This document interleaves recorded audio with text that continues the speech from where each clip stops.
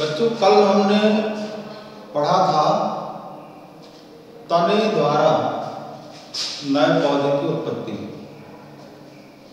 और वो टॉपिक हमारा खत्म हुआ था। ट्यूबर। अब आज टॉपिक तने के द्वारा हेयर प्रोडक्शन वेजिटेटिव प्रोपगेशन कैसे होता है, वो हम आज अगले टॉपिक में देखते हैं। सकर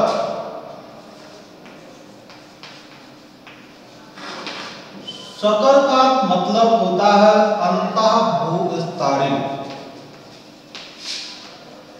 अंतः भूस्तारी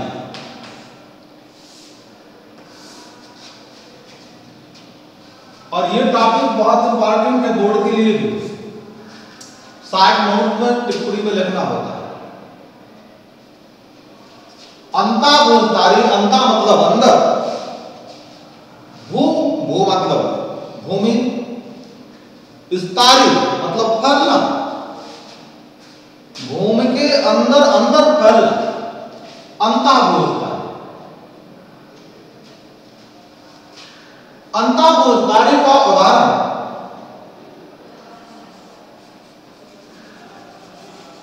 एग्ज़ाम्पल ऑफ़ इसका उदाहरण है मेंथा। मेंथा, पुदीना। पुदीना, आप गर्मी का सीज़न है, आप लोग इसका जूस बनाकर पी सकते हैं। मन मस्तिष्क को ठंडा रखता मेंथा, एंड क्रायोसैंथमम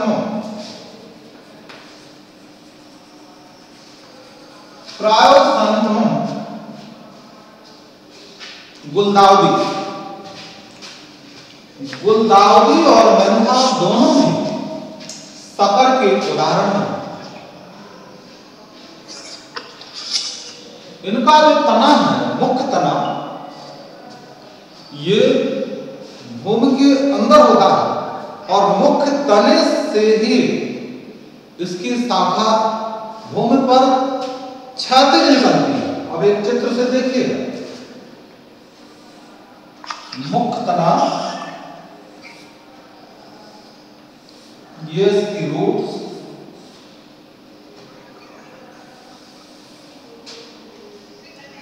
ये सॉइल और इसी से ये क्षैतिज शाखा निकलती है। क्षैतिज शाखा में रूट अपस्थानिक जड़ें विकसित होती हैं। अडवंटीसियस रूट्स अपस्थानिक जड़ें निकलती हैं। ये मेन प्लांट मेन प्लांट से ही एक ब्रांच निकलती है, एक शाखा निकलती है और क्षैतिज से बढ़ते हुए भूमि से बाहर आ जाती है और भूमि से बाहर निकलकर एक नए पौधे के रूप में विकसित हो जाती है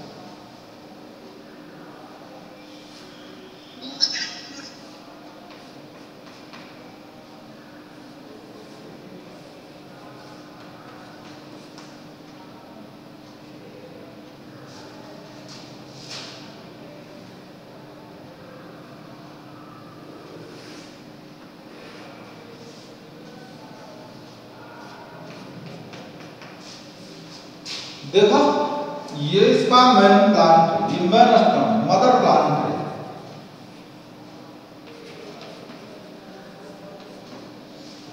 मदर प्लांट से ब्रांच ऐसे क्षैतिज निकलती है और क्षैतिज निकलती है और ये क्षैतिज वृद्धि करते हुए मृदा से बाहर आकर नए पौधे के रूप में विकसित हो जाती है बाद में ये शाखा यहाँ से पृथक हो जाती है अलग हो जाती है टूट जाती है और ये जड़ें मृदा से मिनरल्स और वाटर ऑब्जॉर्ब करती है और इससे नया पौधा बन जाता है। तो आप लोगों ने समझा, सकल अंताभूस्तारी क्या होता है? इसका उदाहरण, मेंथा, क्रायोसंथमम, मेंथा मतलब पुदीना और क्रायोसंथमम मतलब गुलदाउदी। बोथ आर शकर दोनों शकर के एग्ज़ाम्पल हैं। अगला टॉपिक इसी में तने का दूसरा जो प्रोडक्शन है। रनर इसे ऊपर भूस्तारी कहते हैं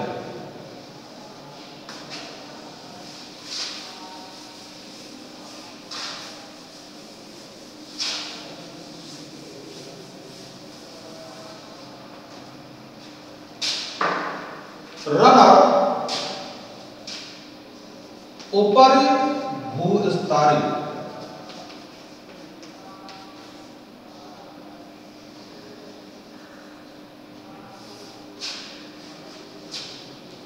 ऊपर मतलब ऊपर, भू, भूमि अस्तारी फैलना मतलब बच्चों, इस प्रकार के तने भूमि के ऊपर क्षैतिज अवस्था में ग्रोथ करते हैं, बढ़ते हैं। विसर्पी तना होता है? रनर के एग्ज़ाम्पल में, इसके उदाहरण में, आप जर्विस इसे खट्टी बूटी कहते हैं।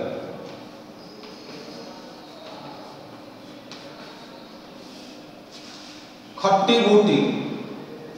जिसे आप लोग गाँव में शायद सुने होंगे कि कुल्फा कहा जाता है। तीन तीन पत्तियाँ होती हैं, बड़ी मोटी और मानसर पत्तियाँ होती हैं। अभी हम उसका चित्र बताएँगे। ऑक्जेलिस खट्टी बूटी, हाइड्रोपोटाइल। हाइड्रोपोटाइल, इसे ब्राह्मी बूटी कहते हैं।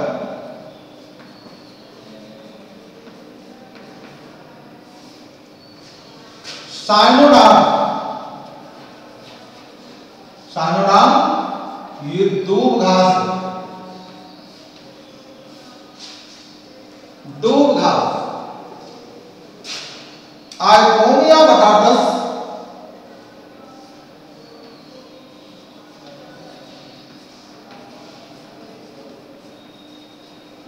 It is a botanical name of silk potato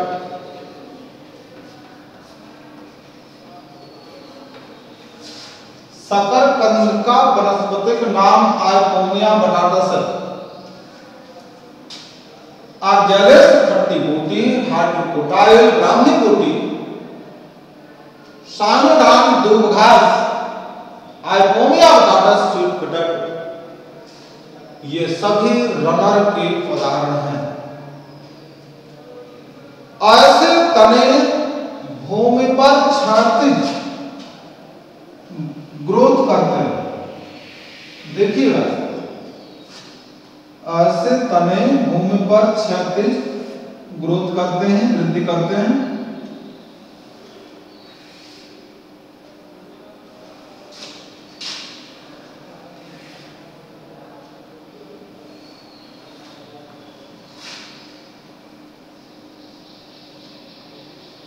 और ये ग्रोथ करते हैं ग्रोथ करते हैं और इनके नोड से अपस्थानिक जड़ें निकलती हैं इस तरह अपस्थानिक जड़ें निकलती हैं ये रनर इसमें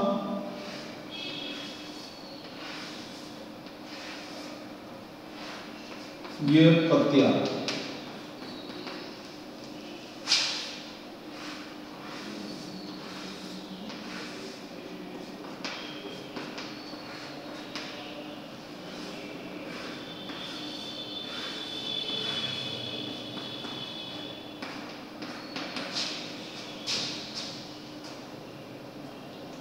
runner lived roots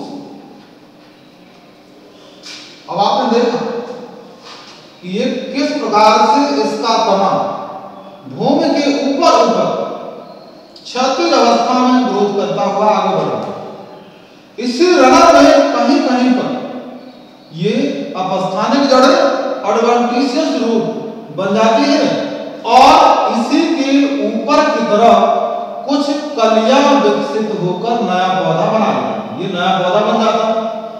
बाद में ये रनर यहाँ से टूट जाता है। और रनर यहाँ से जब टूट जाता है तो ये पृथक पौधा, स्वतंत्र पौधा बन जाता है। रनर यहाँ भी टूट जाता है तो ये स्वतंत्र पौधा बन जाता है। इस प्रकार से ऊपर विस्तारी रनर के द्वारा किस नए पौधे की उत्पत्ति हो जाती है? समझ में आ बच्चों? कोई क्लियर टॉपिक ना हुआ हो, आप हमसे दोबारा खड़े होकर पूछ सकते हैं। या जैसे भी हो, आप हमसे पूछ सकते हैं। हम आपकी हर समस्या का समाधान करेंगे सकर के बाद रनर रनर के बाद तने का दूसरा रूप है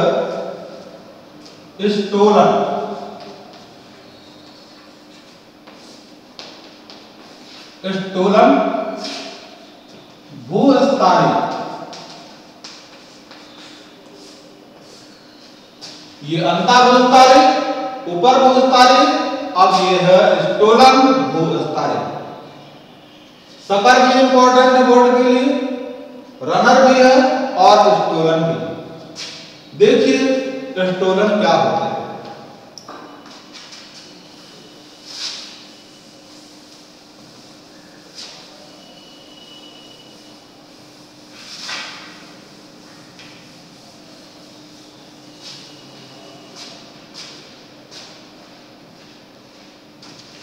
स्टोलन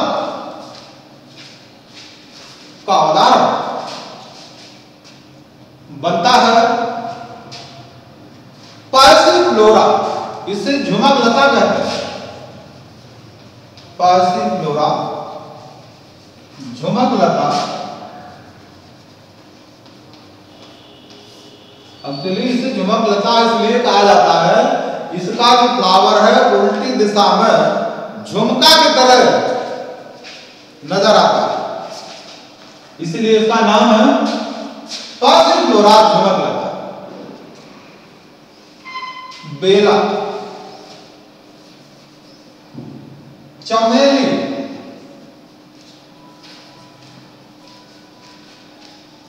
म्यूसा म्यूसा मतलब बनाना यानी म्यूसा केला को कहा जाता है। केला, चमेली, बेला पासी फ्लोरा झुमक लता, ये स्टोलन के उदाहरण हैं। ये इसका चित्र भी आप देख सकते हैं। ये मृदा में छाती वृद्धि करने वाले विसर्पी तने हैं। लेकिन इनके तने मृदा से ऊपर उठे होते हैं, इस प्रकार से।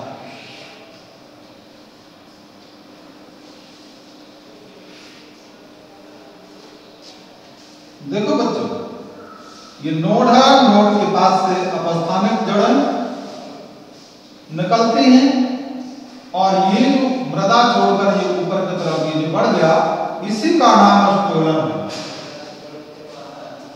स्टोलन क्या है? विस्तारी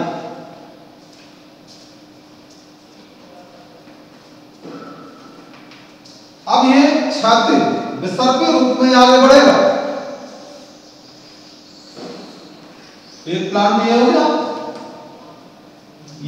एडवेंटिशियस रूट हो गई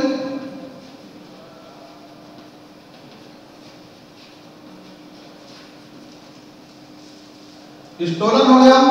अब ये स्टोलन जब आगे बढ़ेगा तो इसमें किसी स्थान पर अपस्थानिक जड़ विकसित हो जाएँगी, और यहीं से ये कलियाँ विकसित होंगी, और इन्हीं कलियों के अंकुरण से नया पौधा न्यू प्लांट बन जाएगा।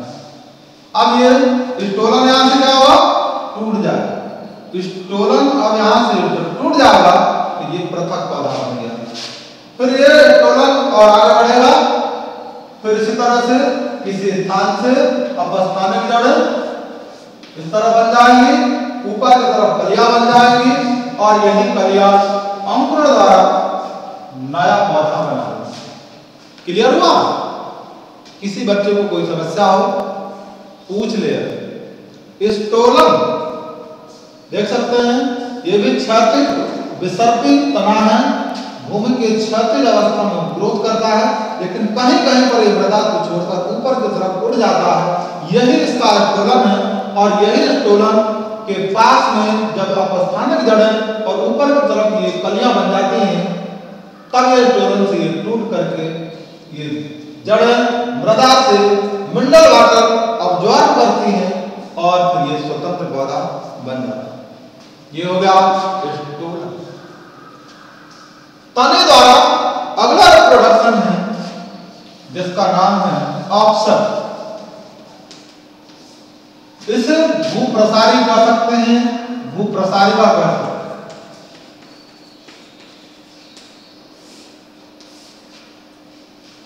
ऑप्शन ऑप्शन क्या है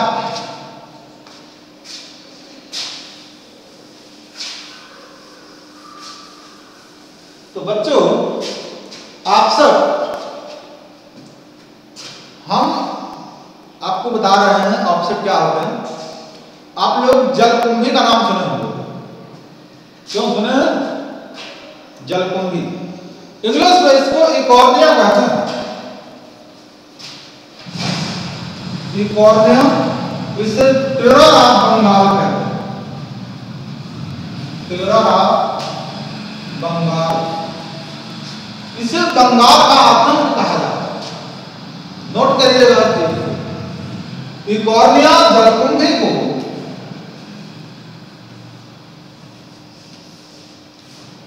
टेरर ऑफ़ बंगाल कहते हैं और टेरर ऑफ़ बंगाल इसलिए कहते हैं क्योंकि ये इतना तीव्र गति से ग्रोथ करता है, इतना तेज़ी से बढ़ता है कि कुछ ही समय में ही पूरा जलाशय ढक लेता है।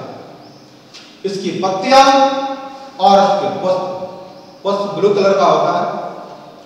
पत्तियाँ भी बड़ी सुंदर होती हैं। इस पौधे को यूरोपीय देशों से सौंदर्य के कारण भारत में लाया गया और इसे बंगाल के कुछ जलाशय में लगा दिया गया देखते ही देखते पूरे बंगाल के जलाशय में जलकुंभी चारों तरफ़ जलकुंभी फैल गई। इससे लाभ तो कुछ हुआ नहीं। हानि ज़रूर हो गई। हमारी जैविक विविधता इससे ज़रूर प्रभावित हो गई और वो कैसे प्रभावित हुई? क्योंकि जलीय समुदाय में जो विविध प्रकार के एलगी मौजूद होते और दूसरे जलीय पौधे वहाँ पर मौजूद होते हैं। उनका विनाश हो जाता है। केवल इकोर्निया जलकुंभी ही पूरे जलाशय में रह पाती है। और बता दूँ कि कॉर्निया की पत्तियों में वाष्पोत्सर्जन की क्रिया बहुत तेज होती है और वाष्पोत्सर्जन क्रिया तीव्र होने के कारण जलाशय कुछ ही समय में सूख जाता है।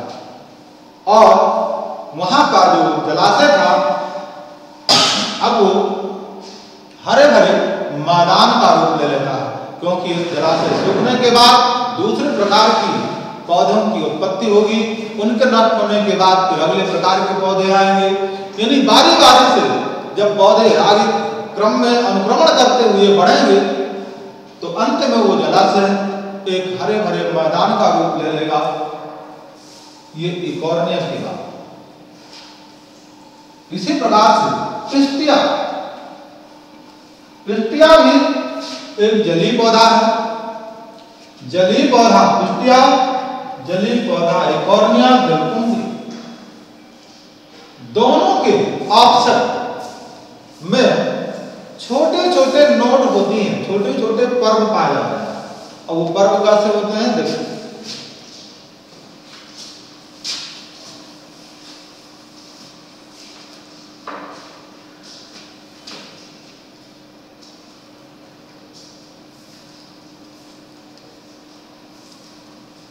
ये जल कुंभी की पत्ती है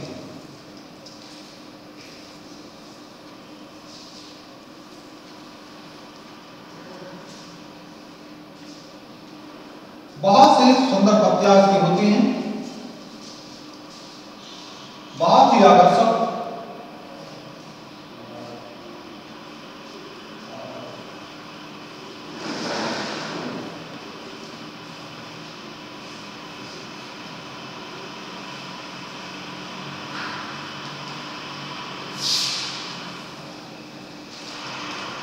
यहाँ से उसके लोअर ऑफसेट से अपस्थानिक जड़ा निकलती है।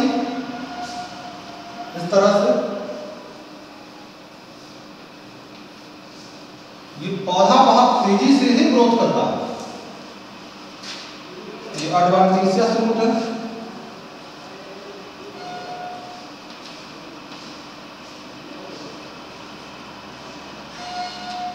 ये इसका ऑप्शन ये ऑप्शन हो गया जल्दी को आधार। और ये इसकी नोड है। नोड मतलब ये इसका पर्व एक नोड ये और एक नोड ये। दो नोड के, ये दो नोड है, इस दो नोड के बीच के, इस स्थान को इंटर नोड भी कहते हैं। और यही इंटर नोड ऑफसेट है। इसके नोड यानी पर्व छोटे छोटे होते हैं और जहाँ जहाँ पर इसकी पर्व संधियाँ होती हैं, यहीं से कुछ अपस्थानिक जड़ें निकल आती हैं और इसके ऊपर की तरफ़ पत्तियाँ समूहों में लगी होती हैं। कुछ समय बाद, जैसे ये इसकी जड़ें कीचड़ में चली जाती हैं, इसका ऑप्शन भी विखंडित हो जाता है। विखंडित होने के बाद फिर ये ऑप्शन आगे बढ़ते फिर ये जड़ों विकसित करता है, फिर यही जड़ें फिर कीचड़ में चली जाती हैं और फिर यहाँ से इस तरह से नए पौधे का निर्माण निरंतर होता रहता है और इकोर्निया अपनी सीमा से कहीं अधिक बहुत तेज़ी के साथ वृद्धि करता हुआ पूरे के पूरे जलाशय में फैल जाता है। ऑप्शन तो ऑप्शन का उदाहरण आपने देखा पिस्टिया इकोर्निया जलकुंभी और पिस्टिया दोनों उदाहरण हैं ऑप्शन तो हमने आपको सकर रनर स्टोलन ऑप्शन, इनमें से 60 नोट्स लिखने के लिए बोर्ड परीक्षा में आता है।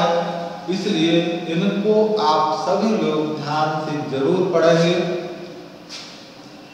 ऑप्शन के बाद अब जो अगला प्रोडक्शन होगा, वो है पत्र कलिका के द्वारा जिसे बलबिल कहते हैं। बलबिल्स पत्र कलिका आपको कहा जाता है। पत्र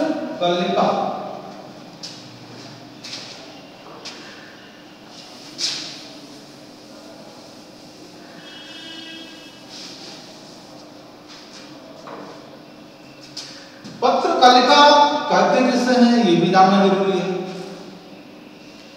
ऐसी कलिकाएँ जो भोजन का संचय करती हैं, उनको कहते हैं बलबिल्स पत्र कलिकाएँ।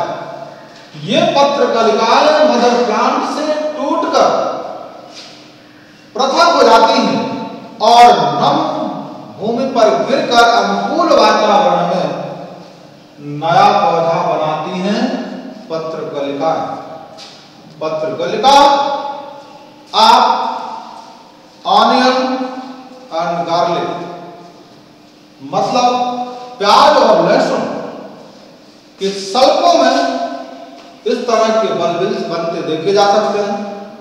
रतालू डायोस्पोरिया तेरा एग्ज़ाम्पल आप सुन लीजिए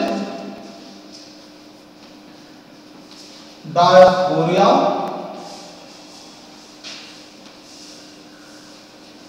बल्बिफेरा ये है रतालू।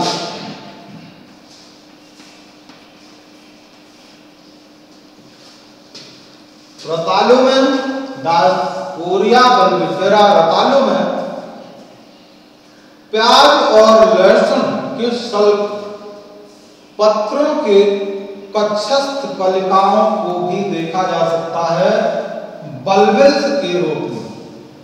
ये बल्बिल्स एक चित्र से भी आप समझ सकते हैं। देखिए मैं आपको बताता हूँ।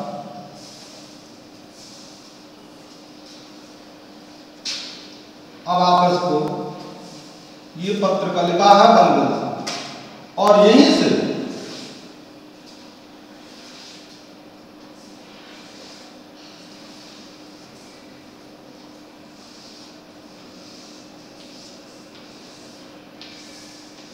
देखा? ये बल्बिल्स ये पत्र कलिपा यही पत्र कलिपा यहाँ से ये उत्तम है इसका। ये पत्र कलिका तने से टूटकर भूमि पर गिर जाती है और अनुकूल वातावरण में अंकुरण द्वारा नए पौधे को जन्म देती है बलबिल्स तो बलबिल समझ गए आप लोग बलबिल्स मतलब कलिया जो भोजन का संचय करती हैं, उन्हें कहते हैं बलबिल्स पत्र कलिकाएँ कहते हैं, और पत्र कलिका कहाँ विकसित होती है? उदाहरण मैंने बताया डायस्पोरिया बल्बिफेरा रतालू प्याज और लहसुन, दोनों की सशस्त्र कलिकाएँ भी इसी प्रकार से निकल आती है।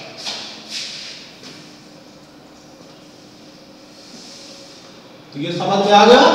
ये चित्र आप लोगों के पास जो पीडीएफ दी गई है ये नोट्स आपके पास अवेलेबल होंगे।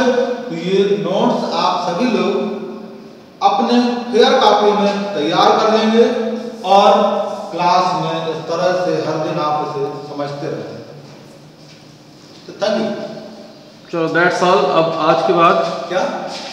दैट्स ऑल अब मंडे